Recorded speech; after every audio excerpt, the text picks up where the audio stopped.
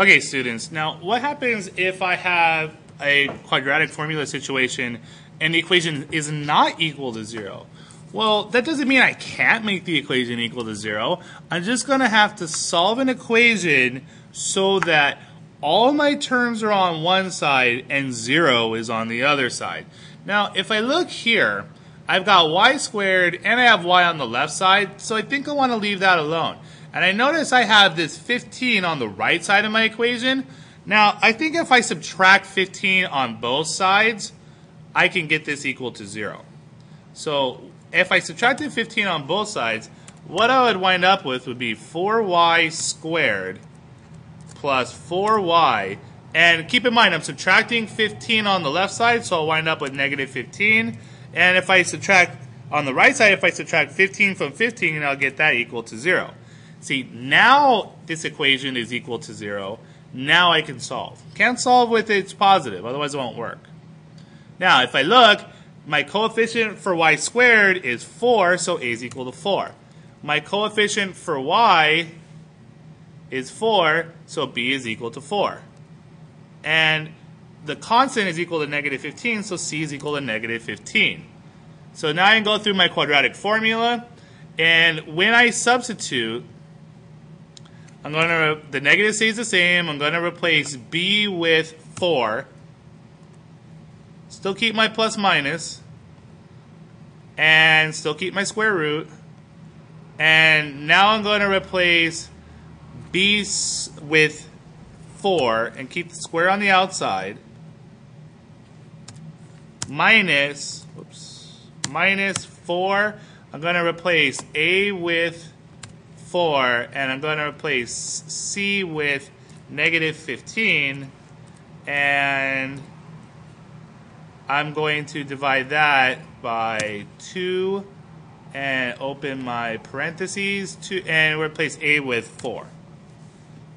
Now, next step, when I multiply, well, negative times 4 is negative 4. Still keep my plus minus. Still keep my square root.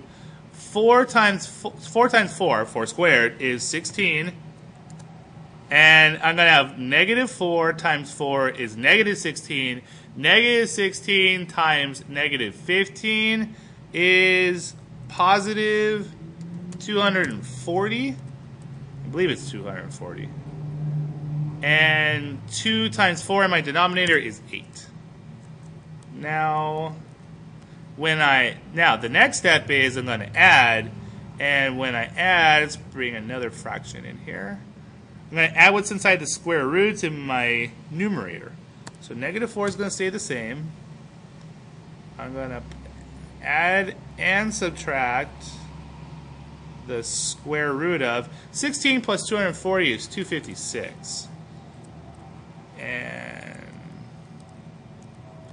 and the denominator 8 is going to stay the same. Now it's time to find the square root of everything. So when I'm finding the square root, the negative 4 is going to stay the same. The plus or mi plus and minus is going to stay the same. The square root of 256 is 16 divided by 8. Now, it's time to split my equation in half. So let's create two fractions and now. And when I split, I the first thing I'm going to do is I'm going to have negative 4 plus 16 divided by 8. And you know what? That negative 4 doesn't look very negative. There we go. And then negative 4, since I added 16 the first time, now I'm now going to subtract 16 divided by 8. Now I'm going to add each fraction separately.